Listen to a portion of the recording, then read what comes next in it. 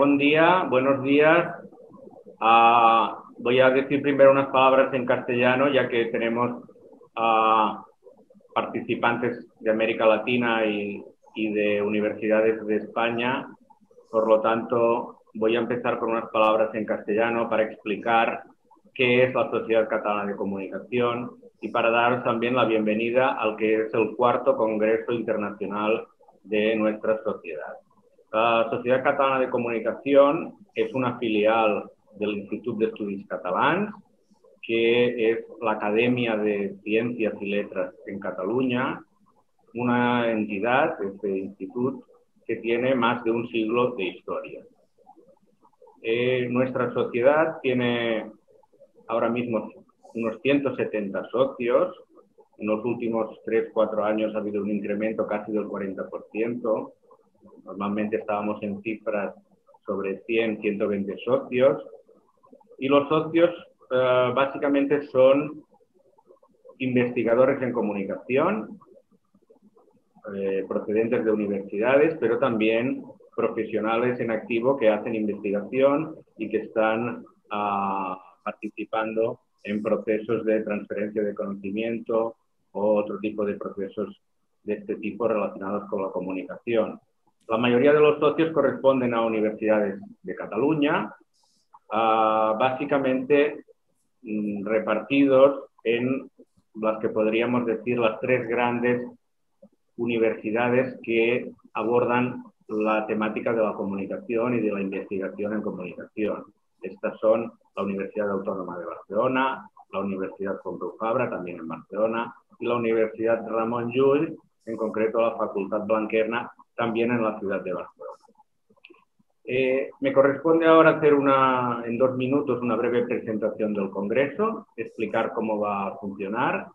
El Congreso eh, está formado por una, uh, una mesa redonda inicial en la que, eh, ahora lo veréis, eh, tres decanos, los tres decanos principales de las tres universidades que acababa de mencionar, participarán en una mesa redonda sobre el estado de la investigación en comunicación. Después tenemos programadas siete sesiones científicas de trabajo donde se van a presentar uh, un total de 49 comunicaciones que corresponden a 27, a 27 universidades diferentes. En total suma 72 ponentes que pertenecen a siete países, lo que eh, remarca el carácter internacional del Congreso. Eh, a los ponentes que me están ahora escuchando y que van a intervenir a lo largo del día en esta jornada que va a ser apretada, les pido por favor que se ciñan a las normas que han recibido desde la organización. Es decir, que tengan una participación en sus ponencias de un tiempo de cuatro minutos con el objetivo de condensar los resultados obtenidos y dejar tiempo para un debate posterior que puede ser mucho más enriquecedor que las presentaciones de forma individual. Y Quiero hacer también unos agradecimientos en este inicio del Congreso. Quiero agradecer al Instituto de Estudios Catalans por su colaboración en todo momento y en concreto a los técnicos, también a la Secretaría a, de nuestra sociedad y al especialmente al secretario del Congreso, Bertrand Salvador, que ha hecho una gran labor, como todos habéis podido comprobar, eh, para que esto saliera bien y que este Congreso funcionara bien. Funcionara bien. También agradecimientos a, a, los ponentes que vais a participar y que habéis decidido enviar comunicación y que habéis contribuido a que este congreso eh, llegue a su cuarta edició. Bé, i ara vull tenir unes paraules també en català mmm, per agrair de nou a l'Institut tota la col·laboració que ens ha donat en aquesta organització i en particular els membres de la Junta Directiva que aniran participant al llarg de la jornada en la coordinació i la moderació de les set taules que tenim previstes per avui, set sessions científiques de treball que desitjo que siguin profitoses per a tots els investigadors. I abans de cloure aquest, aquesta presentació, vull donar-vos una bona notícia a tots els socis i també a tots els investigadors que avui eh, estan aquí reunits. La notícia és que la revista principal de la nostra societat, que és la revista Comunicació, revista de recerca i anàlisi, ha aconseguit entrar, i això va ser notícia d'ahir, és a dir, que et porto notícies fresques, ha aconseguit entrar a la prestigiosa base de dades de JCR, Journal Citation Report, i, evidentment, és tot una fita per nosaltres haver assolit entrar la, aconseguir que la revista, en la qual fa molts anys que hi treballem i que s'ha fet, penso, una bona feina, hagi assolit aquest grau i aquesta distinció d'estar entre les millors revistes del món en l'àmbit de la comunicació. Eh, evidentment, això ha estat una tasca col·lectiva d'altres presidents que m'han precedit i també d'altres directors de la revista que han treballat anteriorment. El, actualment la revista està dirigida pel Joaquim Marquès i per mi mateix, però anteriorment hi ha hagut altres directors, entre ells el Carles Font, que avui és ponent, el doctor Font, que avui és ponent en la primera taula, i també crec que s'ha d'esmentar la tasca de Maria Coromines o de Reinaldo Salú, que han estat fonamentals perquè amb el treball de tants anys haguem assolit aquesta fita per la revista. Bé, no m'allargo més i ara passem directament a la taula rodona els tres ponents, com sabeu, són la Maria José Racuder de la Universitat Autònoma de Barcelona, a la qual dono la benvinguda, el professor Carles Pont, de la degà de la Universitat Pompeu Fabra, i el tercer degà, el degà Josep Maria Carbonell, de la Universitat de Comunicació Blanquerna, Facultat de Comunicació Blanquerna de la Ramon Llull, la Universitat Ramon Llull. Bé, el, el format d'aquest eh, primer acte, acte inaugural del Congrés, segons hem acordat amb, el, amb els tres degans que avui ens acompanyen, dels quals agraeixo que hagin volgut participar de forma tan amable, eh, és el següent. Tenen cada un d'ells uns 10 minuts per respondre a unes preguntes obertes que vindrien a ser quin és el present de la recerca en comunicació en termes generals, quina valoració en feu en l'estat actual i, el que potser és més important, quins reptes de futur es plantegen i com veieu el futur de la recerca en comunicació.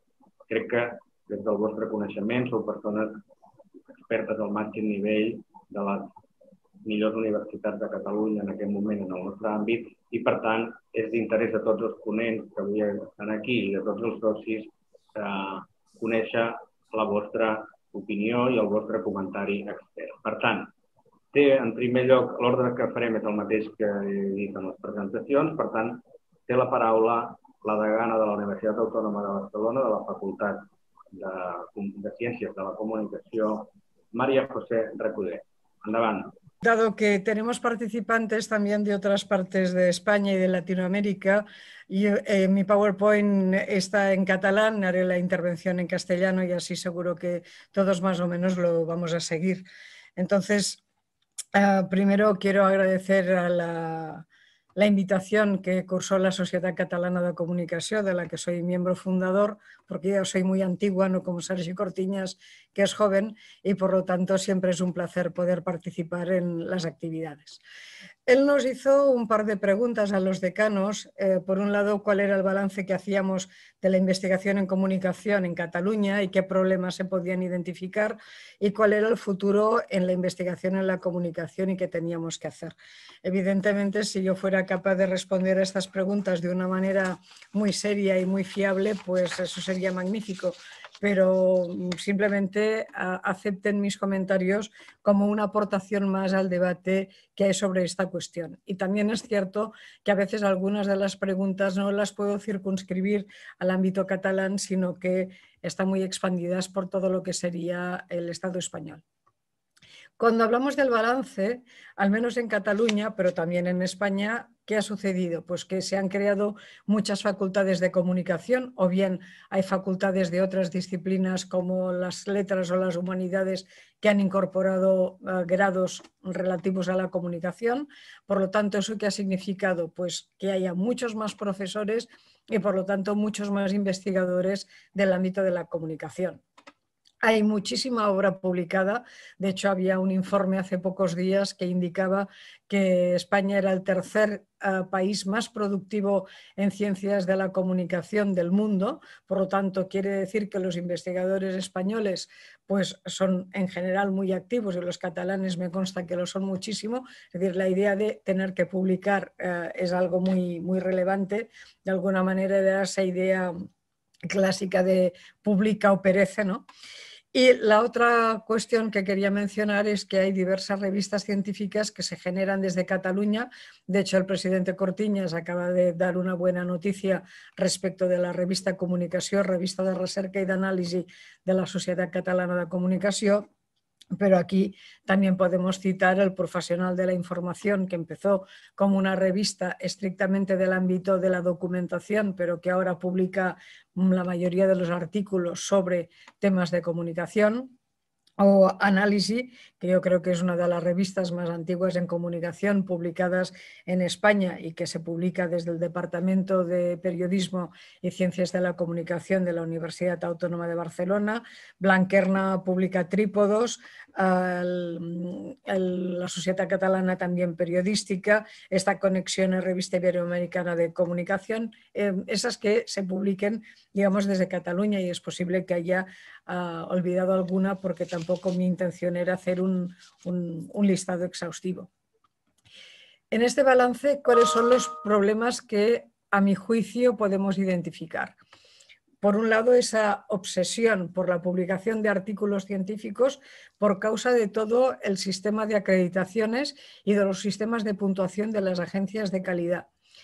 No estoy criticando que eh, no tengamos que publicar artículos, pero yo recuerdo que cuando empecé en el ámbito de la comunicación lo que publicábamos eran libros y por lo tanto los libros era lo que asentaba el conocimiento del ámbito de la comunicación. Ahora tal vez también por esa rapidez extraordinaria en que todo acaba muy pronto, que, que todo es... Mm, muy perecedero, que todo eh, es muy cambiante, la obsesión es la realmente la publicación de artículos porque eso cuenta más cuando tú te acreditas para lector, para agregado, para titular, para lo que sea, que muchos otros elementos.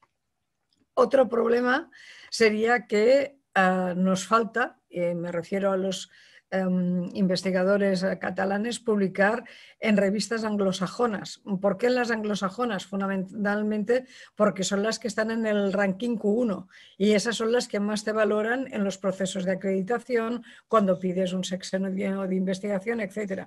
Tengo compañeros que me decían el otro día, me acaban de rechazar otro artículo en otra revista que yo creo que es magnífico y que realmente está muy bien, pero claro, todo el mundo se acerca, no solo desde España, ¿eh? Desde muchos otros países a estas revistas, hay mucho material y por lo tanto pueden rechazar.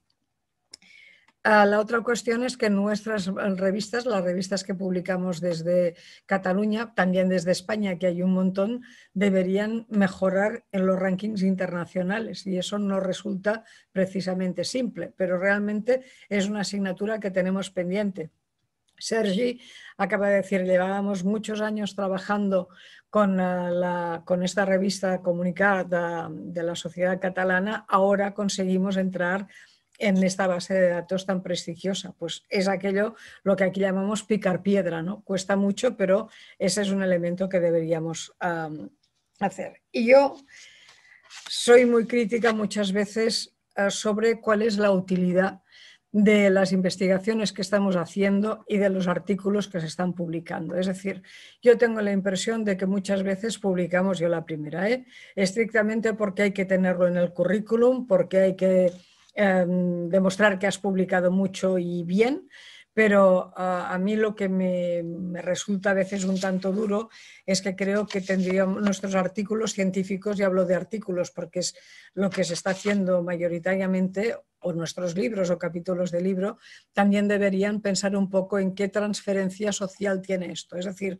de qué manera nuestras investigaciones realmente pueden influir positivamente en la sociedad. De qué manera, desde la reflexión necesaria que se hace del mundo de la comunicación, eh, no solo el tema de las fake news, porque oigan, fake news, lo llamábamos mentiras, han existido toda la vida, el rol de, las redes sociales, el periodismo de investigación, es decir, todas aquellas cosas que tienen que ver con el ámbito de la comunicación, y ahí incluyo la publicidad y la comunicación audiovisual y la relación con las industrias culturales, de qué manera eso puede influir o nosotros como investigadores hacemos alguna cosa para que nuestra sociedad, digamos, sea mejor o sea más receptiva a lo que estamos investigando. ¿Qué pasa con el futuro? Pues miren, a mí me gustaría tener una bola de cristal y poder hacer predicciones correctas. Yo lo único que les puedo decir es qué me parece a mí individualmente sobre lo que podríamos hacer. Por un lado, yo creo que hay el tema de los grupos de investigación. Tenemos muchos grupos de investigación en Cataluña, muchos SGRs consolidados, por lo tanto vamos bien. De todos modos, eh, yo que soy muy de, la idea de, que hay que colaborar, que tenemos que trabajar conjuntamente, creo que tendríamos que consolidar grupos de investigación más amplios, más interdisciplinares, más interuniversitarios y no solo las universidades catalanas, sino tenemos mucha relación con uh, universidades latinoamericanas y con universidades españolas. ¿Por qué nos cuesta tanto? Crear estos grupos amplios en que realmente haya mucho más intercambio de, relación y de conocimiento. Segunda cuestión que, yo creo que tendríamos que intentar mejorar. Normalmente eh, nosotros no, eh, solo hemos copiado de nuestros colegas de las ciencias puras algunas cosas como el tema de las, revistas, sin darnos cuenta que los de ciencias puras o los de medicina tienen montones de revistas en España eh, situadas en magníficos cuartiles, que no es nuestro caso. Y entonces, ¿qué pasa? Que mm, a menudo cuando hay un programa de doctorado aceptamos a los doctorandos que vienen con su tesis bajo el brazo, es decir, vienen con su título, vienen con su tema y a menudo se los acepta, pero estos temas tienen poco que ver con lo que estos grupos de investigación que he mencionado antes están desarrollando. Se los acepta pues porque se piensa que son buenos investigadores, porque quieres ayudar a la gente, pero yo creo que deberíamos hacer un cambio. Es decir, oiga, si mi grupo de investigación se dedica a ABC, pues usted si quiere hacer una tesis doctoral en mi grupo de investigación, lo hará sobre ABC que nos ayude a desarrollar el conocimiento o las investigaciones que estamos ah, haciendo en estos momentos. Y otra cuestión, yo creo que hacemos pocas tesis doctorales por compendio, aún no es nuestra tradición principal y en cambio todos sabemos que las tesis por compendio, como ya has publicado artículos, que es aquello de que es muy complicado, pues realmente eso ah, sería darle la vuelta un poco a la situación. Y sobre el futuro, y, de veras que, que termino, a mí que me gustaría pues a mí me gustaría crear un programa de doctorado conjunto para toda Cataluña, que serviría para poner, eh, digamos, eh, Cataluña como en el mercado internacional bajo una única marca. Yo creo que ninguna universidad catalana tiene problemas para tener doctorandos. Creo que todos tenemos los propios programas de doctorado y que además son eh, muy buenos pero mm, yo a veces me, digamos, miro lo que están haciendo en Andalucía y las universidades andaluzas han creado, todas ellas, al menos las públicas, un único programa de doctorado y se reparten a los doctorandos en función de las líneas de investigación. Me gustaría pensar que esto en el futuro sería posible. Ahora, también soy consciente, como pone aquí, cuáles son las dificultades que eso implica. Es decir, implica cooperación, implica supresión de los recelos que podemos tener, implica una definición muy clara de líneas de investigación, que a menudo las universidades tenemos exactamente las mismas, implica luchar por un doctorado de excelencia, que ya hay universidades que tienen doctorados de excelencia, ¿eh? soy perfectamente consciente. Y algo que no he puesto sobre el futuro, que no he puesto en ninguna diapositiva porque es algo global. A nosotros desde ATIC, ATIC es una asociación la Asociación ah, Española que engloba las universidades con titulaciones en comunicación. Los tres decanos que estamos aquí presentes formamos parte de ATIC. Estamos, llevamos mucho tiempo, años, luchando por una cosa y es que ANECA tenga un área de conocimiento específica sobre comunicación, un ámbito de acreditación donde para dar los sexenios realmente las personas que entreguen estos sexenios y que hagan las valoraciones sean todos del ámbito de la comunicación, como existe el grupo, digamos, de ciencias de la educación, en vez de estar en una mezcla de ciencias sociales donde tenemos a los de derecho y a los de políticas y a los de sociología y por lo tanto quedamos ah, ahí diluidos. Y nada más, muchísimas gracias de nuevo por la invitación y luego seguimos con lo que haga falta discutir. Uh, té la paraula ara el doctor Carles Pont, degà de la Facultat de Comunicació de la Universitat Pompeu Fabra. Bé, bon dia, bon dia a tothom. Uh, avui m'estreno perquè fa pràcticament poc més de tres setmanes que, que he estat nomenat degà de la, de la Facultad de Comunicación de la UPF.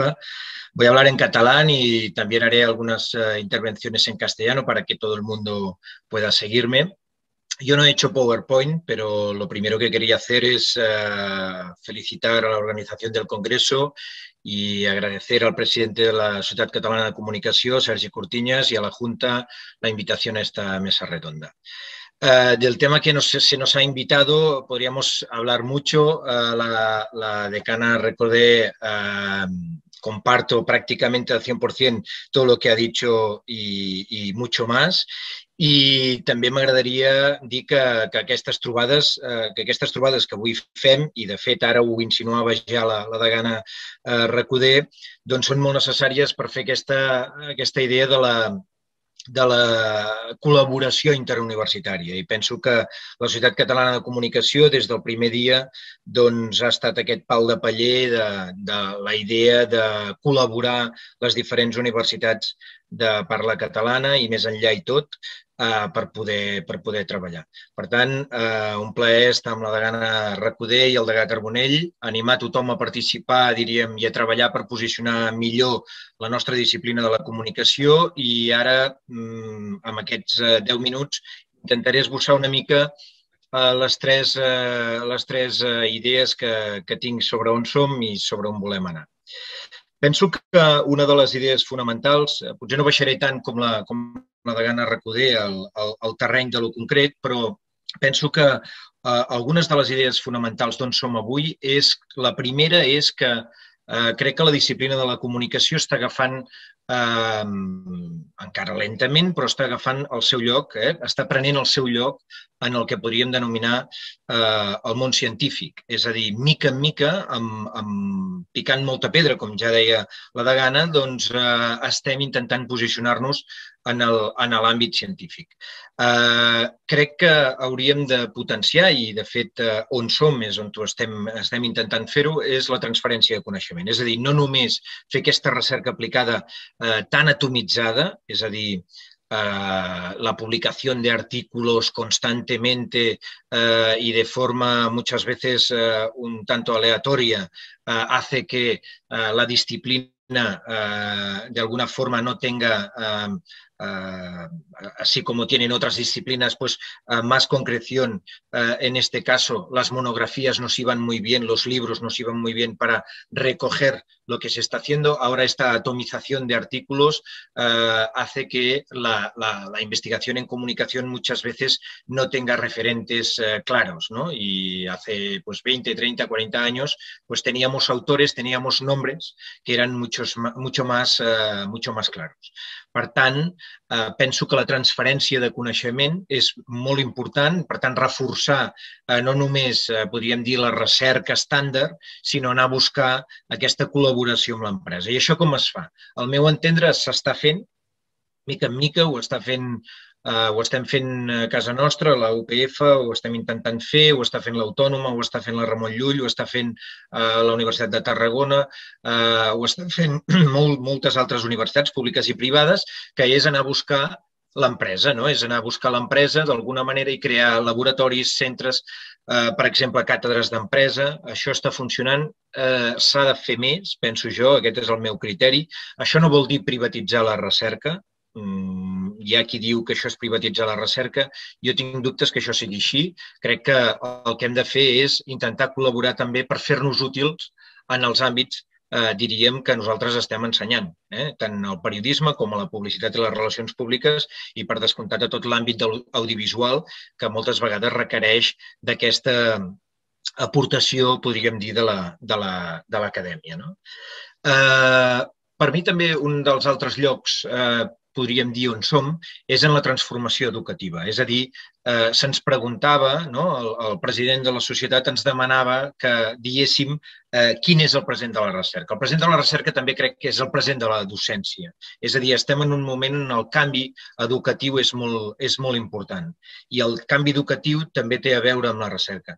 Jo crec que les facultats de comunicació en general en Cataluña, en el conjunto de España y en Latinoamérica, pero también en Estados Unidos, han sido referentes en el modelo educativo. Es decir, las facultades de comunicación uh, muchas veces son ejemplo para otras facultades de las, mismos, de las mismas universidades en cuanto a innovación educativa.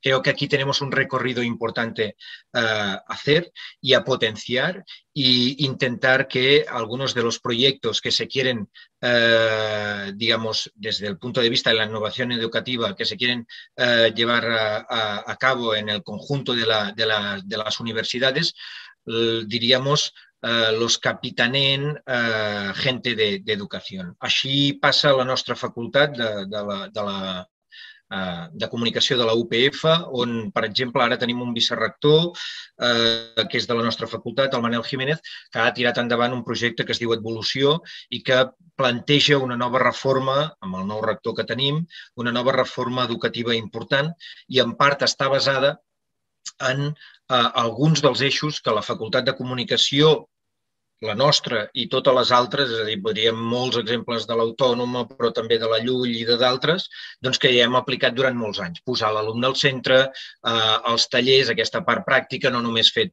Eh, I, per tant, jo crec que aquí també hi ha recerca. Hi ha recerca, eh, ens hem d'explicar en aquest, en aquest eh, camp. I després eh, també mm, tenir eh, algunes eh, algunes perspectives, eh, podríem dir, cap al futur, no? Aquestes, aquests reptes de futur que ens plantejava el president. Jo crec que hi ha eh, algunes de les coses que, que he dit i per no extendre'm molt.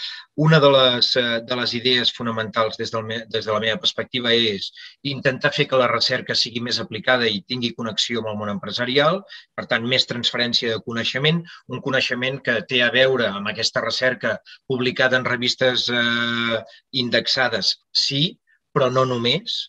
És a dir, jo crec que, eh, com deia la degana Recoder eh, tenim un accés d'articles, hauríem de començar a fer veure a les, eh, diguem-ne, els reguladors, que els reguladors avui dia es diuen ACU, ANECA, etc etc, són les agències que evalúen la, la, la investigació, pues eh, empezar a, a, a explicar a estas agencias que en nuestro ámbito no solo pesan los artículos, hay muchas más cosas que son importantes, la que decíamos, la transferencia de conocimiento, eh, eh, poner en valor eh, todo lo que son mm, monografías i libros, i després una idea que per mi és, és molt important, que és aquesta de la, eh, podríem dir, de, de l'expansió universitària que l'ha apuntat la Degana Recoder i que per mi és molt important, com per exemple el doctorat industrial. En Catalunya hay un modelo que es muy interesante, eh, que se impulsó hace unos cinco años, eh, ¿qué es el doctorado industrial? Doctorado industrial implica a, a una empresa y a la universidad eh, que el doctorando está trabajando en la empresa y se le paga por esto y eh, se financia un grupo de investigación de la universidad para que entre la universidad y la empresa hagan un doctorado, una tesis doctoral. Eh, yo estamos a punto de leer una tesis doctoral con, con, con un doctorando, Santi Castelo, uh, en diciembre y ha sido una experiencia fantástica. Ha sido con la empresa Ideograma y nos ha, nos ha funcionado muy bien. Y en nuestra universidad tenemos, en nuestra facultad tenemos otro doctorado industrial también en marcha, que también funcionó muy bien, y una tesis que se leyó Uh, también muy interesante uh, que, que, iba, diríamos, ligada a esta idea de Eh, conexión con el, con el tejido empresarial. Uh, finalment, volia donar algunes pinzellades o, o una pinzellada molt ràpida per, per, per no allargar-me més. Uh, enllaça amb el que deia al principi, que és tornar a situar la disciplina o treballar més perquè la disciplina tingui un, un lloc, el lloc que es mereix. Tothom comunica, amb la pandèmia ho hem vist clarament.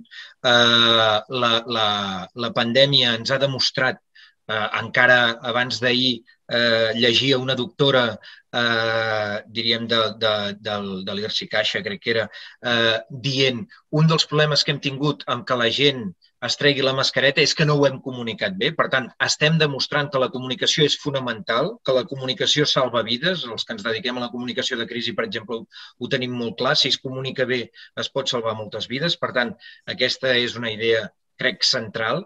I, per tant, eh, intentar que la comunicació arribi més, sigui més transversal eh, i pugui ser una disciplina més eh, dintre, podríem dir, de les disciplines universitàries i que la comunicació sigui part de la formació curricular, doncs, per exemple, dels alumnes en dret o dels alumnes en economia o dels alumnes en, en tecnologia, en qualsevol de les tecnologies. Per tant, repensar una mica eh, o, o reforçar, millor dit, eh, el lloc de la, de la disciplina. I ara sí, per acabar, només una, dues idees eh, voldria insistir en aquesta idea que ja deia la de Gana Recoder de repensar com avaluem la recerca en comunicació eh, amb més monografies i menys articles i més transferència de coneixement i eh, menys atomització de, de la recerca. Per tant, mm, això seria una mica la, la meva, les meves quatre pinzellades que, que volia expressar-vos avui de com veig la recerca en comunicació. Moltes gràcies. Moltes gràcies, doctor Pont, per aquestes interessants reflexions que s'han ajustat molt bé al que des de la Junta de la Societat havíem demanat. Té la paraula ara el degà Josep Maria Carbonell. Endavant. Eh, president, eh, en primer lloc, gràcies per invitar-me a participar en esta tabla rodona. Eh, muchas gracias. Yo también voy a hablar en catalán y en castellano, en ambas lenguas. Y quiero empezar diciendo que me sumo plenamente a lo que han hablado mis eh, compañeros en, la, en, las líneas generales y iré quizá insistiendo en algunos aspectos. En primer lugar, sí que quiero afirmar que el futuro pasa por invertir más en investigación, mucho más de lo que se ha hecho hasta ahora. Si nosotros queremos tener un país más moderno y avanzado, que no haga uh, trabajos de poco valor añadido, cal centrar-nos molt en la recerca i la innovació. Sabem molt bé, tots els indicadors ens apunten que després eh, de la pandèmia, i ara ja veiem eh, unes puntes de llum al final d'aquest any i mig tan difícil, s'anuncia una recuperació econòmica important. La nostra economia rebotarà ràpidament i, segons les previsions de la Unió Europea, Espanya serà un país que creixerà amb molta força, el seu PIB creixerà amb molta força. Hem d'aprofitar aquest moment d'expansió, aquest moment d'inversió eh, en l'economia i en la recerca per situar els estudis de comunicació en un lloc important en aquest procés. Jo no vull dir que l'economia, eh, perdoneu, que la recerca hagi de ser utilitarista, però sí que certament la capacitat d'incidència en els processos socials és molt important. I amb tot, també vull insistir de que no podem apartar quelcom que ens passa moltes vegades, no sé si també us passa a vosaltres, que és el fet de que el pensament humanista, que té molta més dificultat de situar-se en les lògiques estrictes de les agències de, de qualificació, quedi apartat. Hem de fer una recerca que serveixi al creixement econòmic, però també hem de fer una recerca en el camp de les humanitats perquè ens fa millors com a societat. Hay una idea que me gustaría uh, subrayar, y es que el ministro Pedro Duque, uh, en el presupuesto de I más D más I, anunció que en el, 2000, en el 2021 habrán 3.232 millones para investigación. Esto supone 1.204 millones en un solo ejercicio. Y el objetivo en el 22 es llegar a los 3.600 millones. Yo aquí veo una primera tarea, ya sea desde el ATIC, ya sea desde, desde, desde nuestras asociaciones y grupos, es de participar activamente porque este crecimiento que habrá en investigación también lo sea en el ámbito de la investigación en el campo de las ciencias de la comunicación.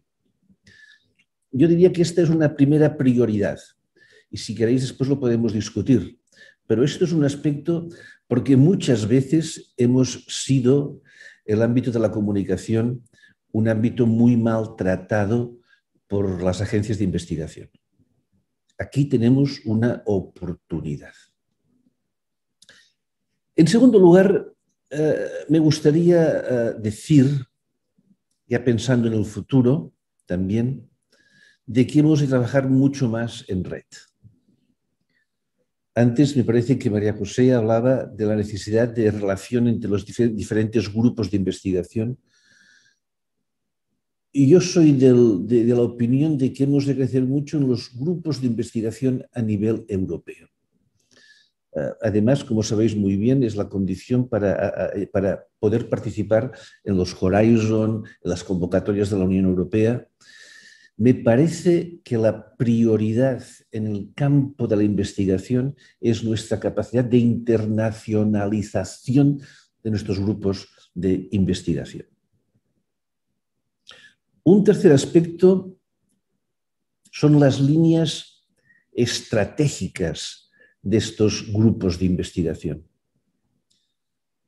Nosotros estamos trabajando en cuatro líneas, que en parte es el resultado de la digitalización del mundo de la comunicación.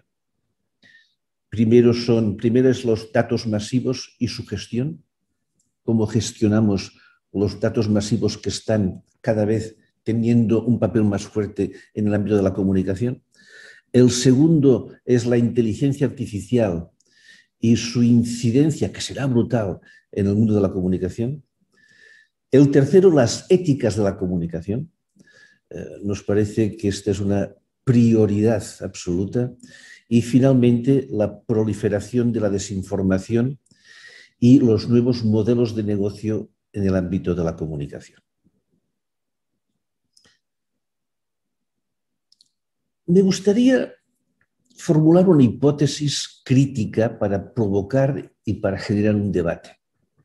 El actual modelo de las agencias de evaluación, que antes se han explicado muy bien, que obliga a artículos cada vez más especializados, siguiendo los cánones del modelo anglosajón, etcétera, etcétera, nos está llevando a formar muchos investigadores,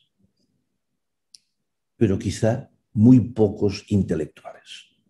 Y esto es una, hipótesis eh, que me gustaría quizá discutir, porque este modelo que estamos siguiendo obligadamente por las agencias de, evaluación nos lleva a particularizar, segmentar el ámbito de estudio y nos hace perder la dimensión más global. Y para mí, la universidad sería más un lugar de formación, de pensamiento crítico e intelectual, y no tanto de investigadores que cada uno hace lo suyo pensando en su carrera futura. por esto yo me sumo a las críticas que se han hecho sobre el modelo de evaluación de nuestros profesores. Menos artículos y más monografías. Eh, la evaluación, evaluación también de la transferencia y de la relación con la empresa. Hay varios aspectos que deberíamos unirnos más nuestras universidades para criticar y cambiar parcialmente este modelo. Y finalmente, si tengo que decir una cosa, es que nuestra universidad es una universidad privada sin ánimo de lucro y que hace un esfuerzo titánico para encontrar recursos. Nosotros nos, financiamos al 100% y la, investigación eh, nos supone una, tarea muy grande al no, poder disponer, al no poder aplicar en las matrículas los gastos necesarios para la investigación. Pero bueno, esto es nuestra particular problemática, pero sí que quería apuntarla como una dificultad que tenemos estas universidades eh, privadas, pero sin ánimo de lucro. Acabo aquí. Eh, moltes gràcies, Daga Carbonell, per aquestes reflexions que també no és el meu paper avui, però que comparteixo pràcticament al 100% amb, el, amb els altres eh, de la mateixa manera. Bé, ara queda un torn de paraules. Tenim un quart d'hora per, per parlar entre nosaltres, però sobretot amb la idea de que dintre del públic que avui, de les persones que tenim connectades, de la trentena de persones que en aquest moment estan connectats, que puguin llançar preguntes als degans o, uh, o puguin formular algun suggeriment. Llavors, el procediment que seguirem és que es poden fer les preguntes a través d'aquest apartat que diu aquí, preguntes y respuestas, preguntas y respuestas. El que quiera preguntar puede redactar la pregunta en preguntas y respuestas o a través del chat también puede lanzar su pregunta y yo la lanzaré oralmente a los decanos. Eh, por cuestión del, del programa, mm, en algunos casos no será posible uh, ver la CAM y poder formular la pregunta con la imagen, pero por una cuestión técnica me han comentado que esto no, no iba a ser posible, pero sí que se pueden hacer las preguntas por estos canales que digo, tanto por uh, preguntas y respuestas como por chat. Entonces, bien, eh, abro este turno de preguntas y como no veo ninguna mano levantada, voy a, voy a decir yo un par de ideas y si alguien de los decanos quiere intervenir, creo que, creo que podemos empezar así este turno. Ah, bueno, yo pienso que se ha puesto el dedo en la llaga de algunos asuntos que son muy importantes, especialmente el tema de la internacionalización y de los proyectos europeos. Yo creo que viendo que los resultados son bajos, es decir, María José nos decía, uh, estamos los terceros en los rankings de publicaciones, muy bien, son, resultados excelentes, pero ¿en qué posición estamos en los rankings europeos de liderar proyectos y participar en proyectos europeos? Yo llevo 22 años en la Universidad Pompeu Fabra y he visto tres proyectos europeos, a lo mejor cuatro, 20 años.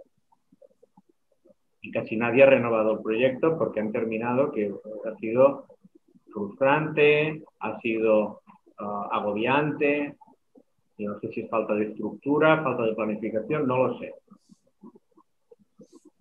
Pero un entorno como este, donde estamos investigadores de diferentes universidades, puede ser un punto de crear una semilla para mm, tener estructuras más potentes, no solo en Cataluña, en el Estado, en, general, estructuras más potentes para que cuando se tenga que hacer una coalición para ir a un proyecto europeo, pues pueda estar todo muy lubricado.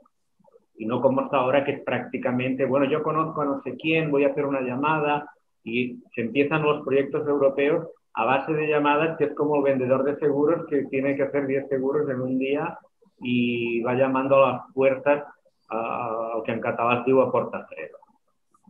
Entonces, mm, o nos lo tomamos esto en serio o será difícil afrontar este reto.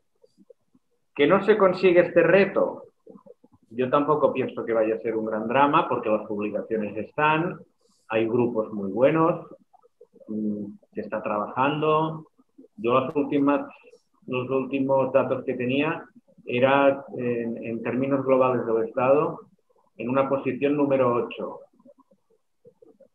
en el mundo, teniendo en cuenta que, pues yo qué sé, hay unas 8 o 10 potencias muy fuertes. Entrar entre las 10 primeras, donde están evidentemente Estados Unidos, Reino Unido, China,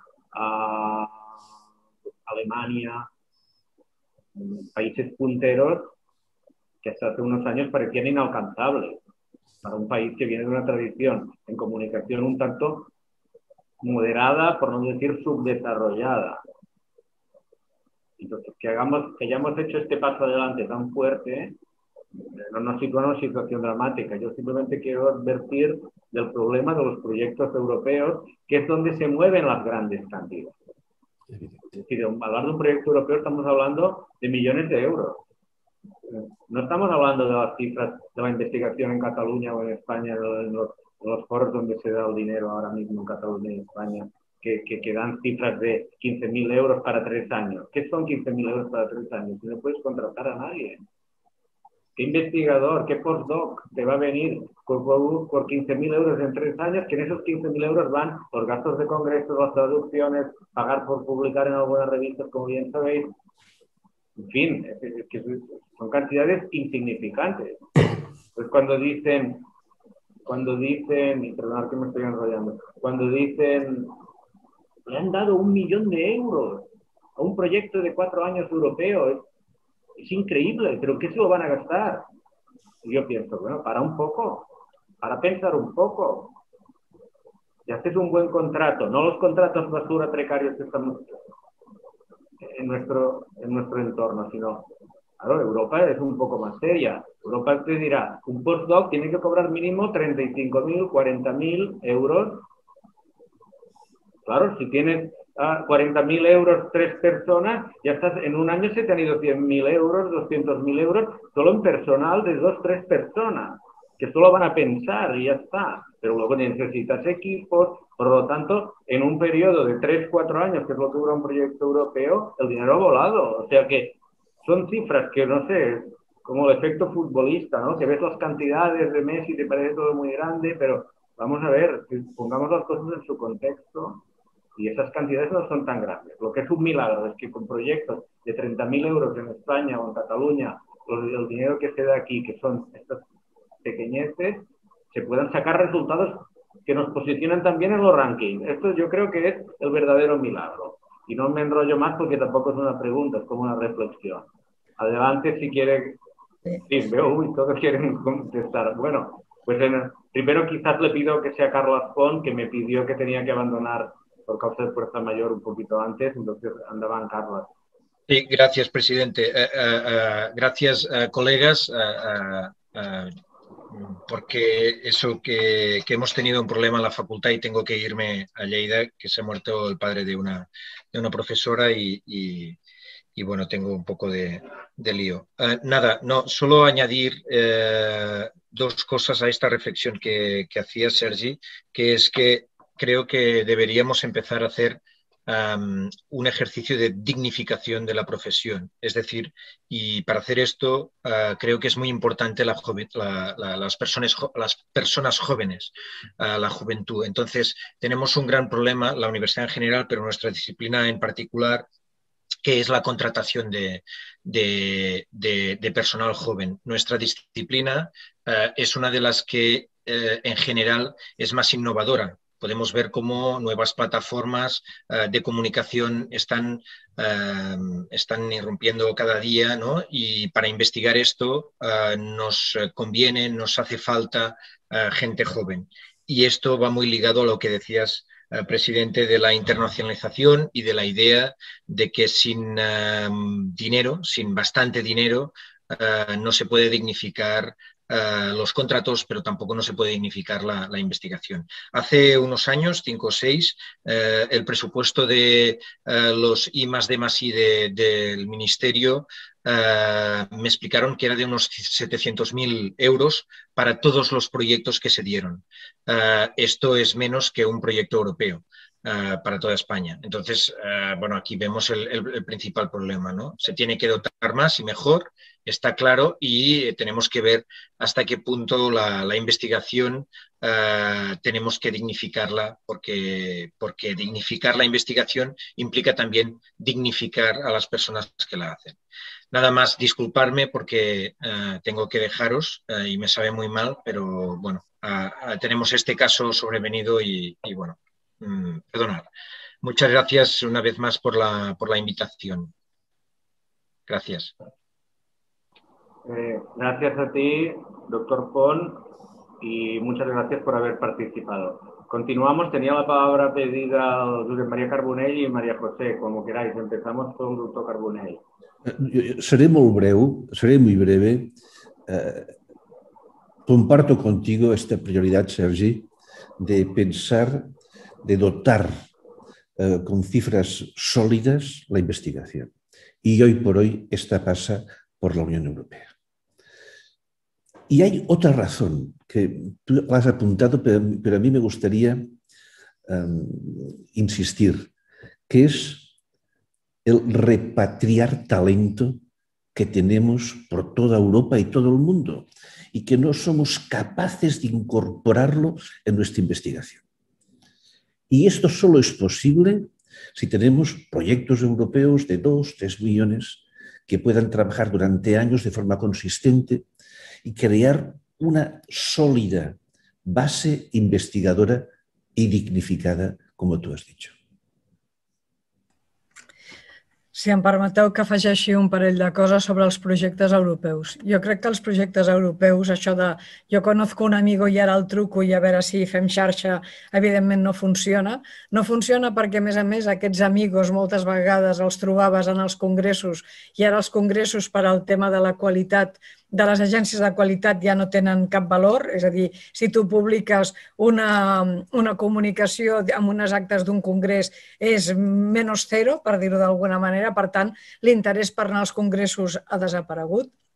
Però dit això, jo crec que en el tema dels projectes europeus no només calen investigadors, calen tècnics que sàpiguen com es redacten els papers i això és el que nosaltres no tenim. És a dir, moltes vegades el propi professorat, quan s'enfronta a demanar un projecte europeu, es troba amb una quantitat de paperassa que no sap com abordar perquè no coneix ni l'idioma, no vull dir l'idioma, el francès o l'anglès, eh? vull dir, el llenguatge que tu has d'utilitzar per omplir allò, no entens de quina manera tindràs més èxit. Vaja, a la Universitat Autònoma de Barcelona et fan cursets quan vols demanar projectes europeus, els tècnics de la casa del Departament de Recerca reuneixen a tothom i els hi donen unes quantes directrius sobre com ho haurien de fer.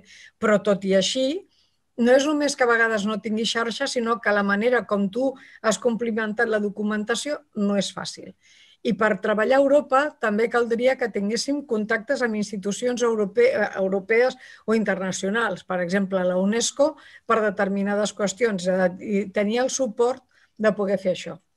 I no vull uh, exaurir el temps, però abans el Josep Maria Català, ai, Català, perdó, Carbonell, el degà de Blanquerna ha fet una, una reflexió, diu, el llenço per, la, per al debat, no? i ell deia, no estem formant intel·lectuals, i té tota la raó, o sigui, abans, o abans, o quan jo penso en la generació prèvia a mi, que estava treballant a la universitat, tu els tenies com a referents intel·lectuals d'aquest àmbit. I en aquest moment tu tens gent molt jove, molt vàlida, molt treballadora, que publica el que no està escrit, però que aquesta pressa per fer el currículum li impedeix seure i pensar d'una manera proactiva en què has de fer en el futur.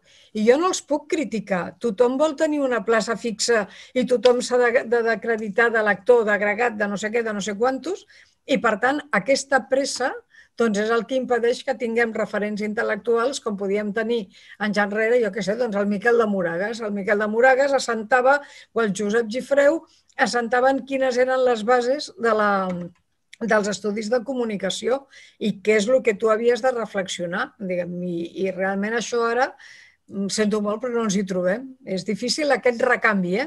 O sigui, investigadors amb moltes publicacions més que abans, però persones que esdevinguin referents intel·lectuals en tenim menys. Molt, moltes gràcies, uh, Maria José. A veure, hi ha una, en el xat hi ha una intervenció de Marta Civil. En aquest cas, la pots fer tu mateixa, Marta, vicepresidenta de la societat. La pots fer directament, si vols connectar en càmera o només de veu, com tu vulguis. La pots fer de viva veu, que serà més, serà més mm, per tots. Endavant, Marta. Sí, bon dia. Jo, jo volia fer una reflexió en el sentit de que en aquest moment publicar en algunes de les revistes científiques de més impacte, eh, parlant en concret a Catalunya i a Espanya, et poden arribar a fer pagar 800 euros. Si contem que un sou d'un becari FPI del Ministeri, el sou mensual són 800 euros, no podem fer que aquesta gent estigui publicant perquè aquests diners els necessita per viure. Llavors, jo crec que des de les associacions és una cosa que a partir del que comentava també es comentava en aquesta sessió de dignificar la professió d'investigadors en comunicació, hauríem de reclamar que, bueno, eh, que realment es pugui publicar, però no eh, acceptar tot aquest mercat que s'està fent des de l'àmbit anglosaxó. Hi ha molts interessos particulars, però jo crec que des de les associacions, des d'àtic, des de les eh, pròpies facultats, i des de la pròpia societat s'hauria de poder treballar perquè això a poc a poc vagi canviant. Si volem canvis, potser els hem de defensar des de dins, des del nostre, des del nostre àmbit, de la mateixa manera que el Col·legi de Periodistes ha tirat endavant la campanya No sense cobrar, no, un periodista no pot acceptar fer peces pels diaris, fer redac, redac, redactar notícies o, o fer reportatges um, que impliquen risc sense un sou. Jo crec que realment des de l'àmbit uh, acadèmic hauríem de reclamar, a poc a poc, és difícil perquè ha anat tot molt ràpid, en els últims 10 anys ha canviat tot molt. Jo crec que realment s'hauria d'aconseguir que es reconeixi el, la transferència que s'està fent amb investigació, els coneixements que s'estan fent, a part de demanar doncs, això, eh, que el Ministeri, la Generalitat i Europa doncs, pugui dotar de, de bons recursos per fer investigació. Jo crec que és molt important fer reflexionar els, els investigadors de que realment si estem acabant pagant pel nostre coneixement, és com si els professors universitaris haguessin de pagar per anar a classe, quan en realitat estan aportant el seu coneixement i se'ls paga per això. Per tant, encara que hi hagin professors que siguin funcionaris i que es diguis que el seu sou també forma part d'investigar, jo crec que s'ha de reconèixer realment l'aportació social que es fa per millorar el nostre món. I, per tant, jo crec que és molt important que es pugui, que es pugui bueno, que ens puguem, des de les diferents associacions, eh, unir per reflexionar i reclamar que, que realment es pugui publicar sense haver de fer aquest cost tan elevat per l'investigador, que si és un treball en equip, doncs queda més repartit, però si és un o si tenen finançament per tirar endavant la recerca, però si és un treball individual d'una persona que comença o d'una persona que té un, un sou precari, no se sosté, això no és possible. Gràcies. Gràcies, Marta. Abans de donar la paraula perquè et puguin respondre, m'agradaria agrupar totes les preguntes que queden. Llavors, té la paraula Joan Francesc Vila, membre també de la Junta, que té un, un comentari o pregunta. Endavant, Joan Francesc. Us demano brevetat perquè ja estem al final. Sí, en la línia del que comentava la meva companya, es dona aquesta paradoxa que costa d'explicar en altres entorns professionals. I és que les qüestions més elevades que són notícia, o sigui, un descobriment d'un article científic, encara que sigui molt especialitzat, pot ser notícia en revistes especialitzades de divulgació general, o la direcció d'una tesi doctoral, que tothom sap que implica moltes hores, es fan filantròpicament eh, o molt excepcionalment amb algun ingrés simbòlic. En canvi, en qualsevol altra àrea, doncs, eh, per activitats molt profanes o molt senzilles, es considera que automàticament s'ha de cobrar a xifres a proporció molt desmesurades. Llavors, això va en la línia que dèiem, eh? aquesta gran contradicció eh? del prestigi que representa doncs, publicar un article científic i patir a vegades per no haver de pagar o haver de buscar finançament per poder cobrir eh, aquesta eh, activitat. Eh? I és simplement traslladar això en la línia del que comenta la marca. Eh? Gràcies, Joan Francesc. Hi ha una, hi ha una darrera paraula que tindríem temps també d'escoltar. De, de Hola. Catalina Gallà, endavant. Sí, hola, bon dia. Primer de tot, moltes gràcies per les intervencions, tant bueno, del president i de la degana i els degans, perquè jo, jo parlo com a... Soc professora lectora Serra Hunter del Departament de Mitjans, Comunicació i Cultura de la Universitat Autònoma de Barcelona de segon any i em trobo una mica immersa dins el que, bueno, entre els lectors i lectores anomenam el mercat de la revista, amb, amb contínues enviaments a revistes anglosaxones i també espanyoles i catalanes, i veient i escoltant sobretot aquest discurs crític, que crec que coincidiu totes eh, precisament en com hem de fer aquests enviaments, què significa fer recerca a Catalunya en aquests moments, jo demanaria un posicionament oficial i clar per part de tots els degans i també de la meva degana, precisament fent una crítica i animant a tot el col·lectiu eh, científic a, a buscar altres maneres. És a dir, no, que no hagi aquesta dictadura, entre cometes, de les Qs, Q2, Q3, i que jo crec que és un debat que en el món anglosaxó en aquest moments ja s'està fent i que hi ha un posicionament crític per part de, bueno, de les institucions màximes. I jo estic molt contenta aquest matí d'haver-vos escoltat, perquè en certa manera aquesta soledat que sentim la gent que estem començant ara, d'alguna manera és molt compartida, veig amb vosaltres també. Per tant, aquest posicionament ens ajudaria fins i tot a crear nous escenaris perquè les nostres recerques eh, puguin ser públiques. Heu parlat de transferència, jo treballo en el camp de la comunicació i els museus i eh, em consta perfectament que les recerques que estem fent, per exemple, des del meu departament, tenen una transferència molt gran, però després ens trobem unes barreres que no acabam eh, d'entendre. Per tant, eh, podríeu fer aquest posicionament més enllà d'aquesta xerrada de 9 a 10 i 5 del matí en el marc d'aquest congrés? Ja està, perdoneu la intervenció.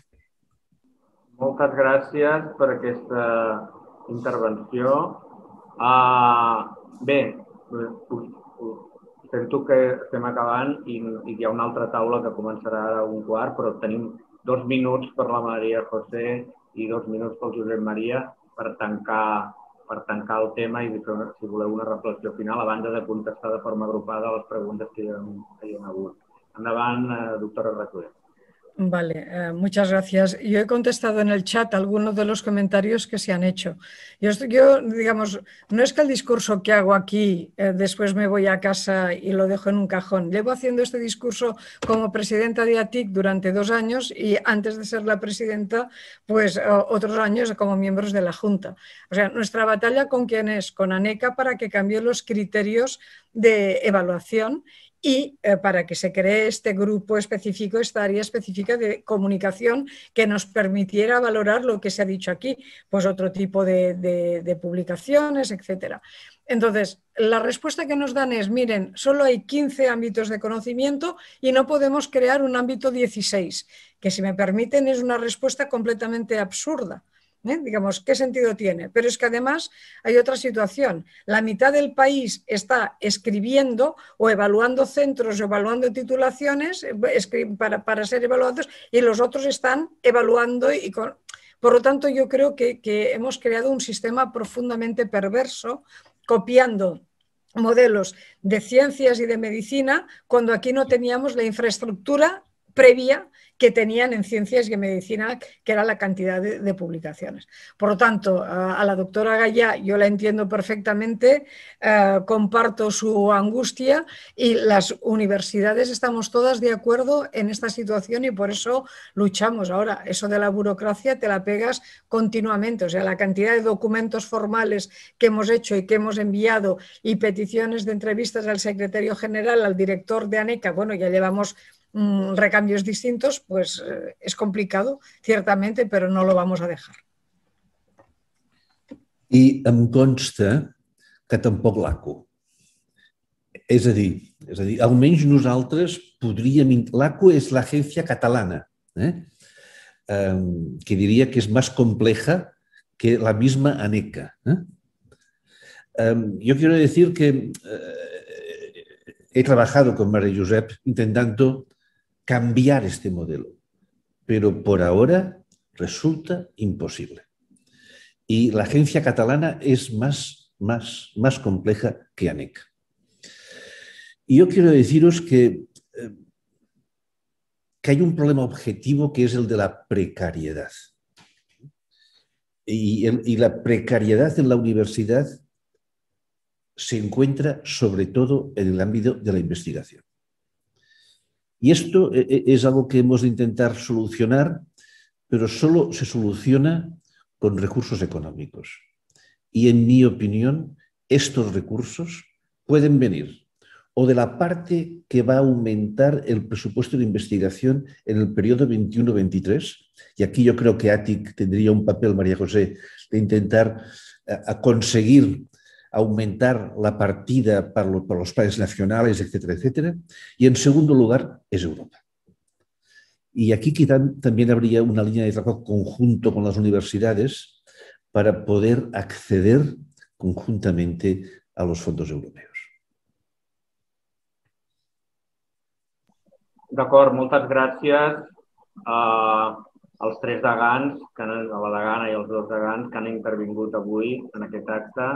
Crec que ha estat molt fructífer, no, no, no ha estat com a vegades ens trobem en aquests tipus de certàmens que bueno, caiem en tòpics i anem donant voltes a tòpics, sinó que avui crec que hem tocat, hem tocat temes mm, d'un gran interès i d'un gran impacte i penso que, que, que hem, hem tocat el moll de l'os de, de, de la qüestió de la recerca en comunicació i penso que totes aquestes reflexions eh, bé, crec que quedarà això gravat i que s'hauria de fer fins i tot una publicació breu on recollin aquestes idees perquè crec que, d'aquí un temps de, crec que recordarem aquest debat com el dia que vam mm, marcar una mica unes pautes de, de, de, on, anà, de on estàvem i on anàvem i d'aquí uns anys veure si això doncs, ha millorat o no ha millorat. Jo, en qualsevol cas, soc optimista de mena i penso que, que, que ens en sortirem perquè hem passat crisis molt pitjors i bé, estem, a prova de bomba, però ho estem fent a un preu molt alt, com ha dit, eh, en concret ara penso en les paraules del, del doctor Carbonell. Bé, doncs aquí tanquem aquest acte que havia d'acabar a les 10 en punt, acaba en 11 minuts de retard. El proper acte ja és la primera taula que començarà darrere d'aquí 5 minuts. Llavors ens desconnectem els participants d'aquesta primera taula i en aquesta segona, doncs, desitjar-vos molta sort a tots els que presenteu comunicacions en les taules científiques. Moltes gràcies. Moltes gràcies als degans. Adéu, Sergi, Maria José. Adéu. Adéu. I tanquem aquesta primera part. Moltes gràcies a tots Adéu-siau.